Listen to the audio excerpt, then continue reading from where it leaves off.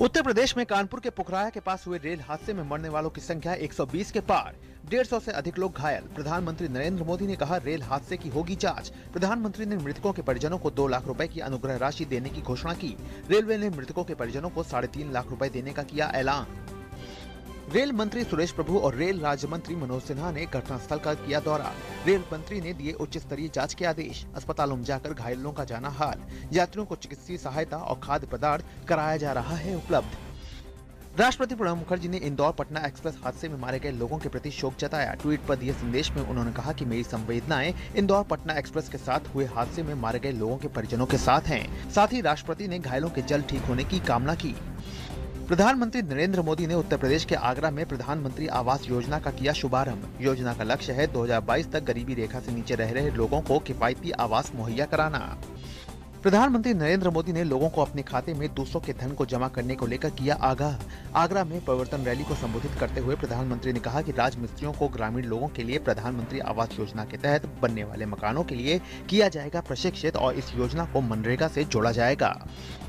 नोटबंदी के मुद्दे आज भी संसद में छाए रहेंगे। इस सिलसिले में कांग्रेस ने अपने सदस्यों को विप जारी किया है। विपक्षी दल के नेता नोटबंदी के बारे में सत्तारूढ़ भाजपा के कथित तौर पर सूचना लीक करने के मामले की संयुक्त संसदीय समिति से जाँच कराने की मांग भी करेंगे। पाकिस्तानी सेना ने पिछली रात को जम्मू कश्मीर के रजौरी सेक्टर में भारी गोलीबारी की, जिसमें सेना के चार जवान घायल हो गए। बीते 24 घंटे में पाकिस्तान द्वारा ये तीसरी बार संघर्ष विराम का उल्लंघन किया गया है। भारतीय सेना ने पाकिस्तानी गोलीबारी का मुँह तोड़ जवाब दिया। राष्ट्रपति प्रणब मुखर्जी ने चंडीगढ़ में सी आई आई एग्रोटेक 2016 अंतर्राष्ट्रीय कृषि मेले का उद्घाटन किया। भारतीय उद्योग परिसंघ सी आई आई द्वारा आयोजित चार दिवसीय इस कृषि कार्यक्रम में इसराइल के राष्ट्रपति रूवन रिवलिन भी विशिष्ट अतिथि के रूप में शामिल हुए। सैतालीसवां अंतर्राष्ट्रीय फ़िल्म महोत्सव गोवा में शुरू हो गया है। फ़िल्म समारोह की शुरुआत सूचना एवं प्रसारण मंत्री एम वेंकैया नायडू ने की। इस वर्ष ये फ़िल्म महोत्सव भारतीय सिनेमा में महिलाओं के योगदान के लिए समर्पित है। सिनेमा प्रेमियों को यहाँ विश्व भर की अद्वितीय फ़िल्मों का संकलन देखने को मिला अंतर्राष्ट्रीय रूप से विख्यात कोरियाई फ़िल्म निर्देशक और लेखक इम नोन ताइक को आई एफ़ एफ़ आई दो हज़ार सोलह में प्रतिष्ठित लाइफ टाइम अचीवमेंट पुरस्कार से सम्मानित किया गया। अपने लंबे और शानदार करियर और कोरियाई विषयों पर अपने उत्कृष्ट कार्यों के लिए उन्हें कोरियाई सिनेमा का जनक माना जाता है। इम नोन ताइक ने अपने करियर में 500 से अधिक फ़िल्मों का निर्माण किया। इसके साथ ही मशहूर पार्श्व गायक एस पी बाला सुब्रमण्यम को लाइफ टाइम अचीवमेंट पुरस्कार से नवाजा गया। जर्मन चांसलर एंगला मार्कल चौथी बार चांसलर बनने के लिए चुनावी मैदान में उतरेंगी। जर्मनी में अगले साल चुनाव होने हैं। कई महीनों से चल रही अटकलों को विराम देते हुए क्रिश्चियन डेमोक्रेट पार्टी को संबोधित करते हुए उन्होंने अपनी उम्मीदवारी का ऐलान किया। उन्होंने कहा कि मौजूदा दौर में समाज ध्रुवीकरण के दौर से गुजर रहा है और उनके लिए ये चुनाव लड़ना आसान नहीं होगा। British tennis star Andy Murray ने एटीपी वर्ल्ड टूर फाइनल्स का खिताब जीतकर टेनिस की नंबर वन रैंकिंग बरकरार रखी है।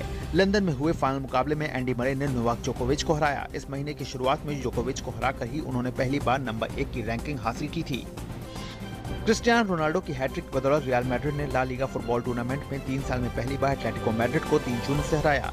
रियल ने इस जीत के साथ दूसरे स्थान पर चल रही बार्सिलोना पर अपनी बढ़त को चार अंक का कर दिया है। देश की पहली महिला ओलंपियन पहलवान गीता फोगट की शादी रविवार को पहलवान पवन के साथ हो गई। खास बात ये रही कि शादी में दोनों पहलवानों ने सात नहीं, बल्कि आठ फेरे लिए और आठवें फेरे में बेटी बचाओ, बेटी पढ़ाओ की शपथ ली। दो बार के ओलंपिक पदक विजेता सुशील कुमार और रियो में कांस्य पदक जीतने वाली साक्षी मलिक भी शादी के साक्षी बने। वहीं फ़िल्म अभिनेता आमिर खान भी इस मौके पर नज़र आए।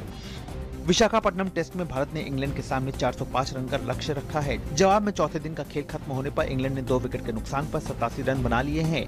दिन का खेल खत्म होने से ठीक पहले भारत को बड़ी सफलता मिली। एलिस्टर को चौवन रन बनाकर रविंद जडेजा की गेंद पर एलबीडब्ल्यू हुए। इंग्लैंड अब भी भारत के स्कोर से तीन सौ अठारह रन पीछे है।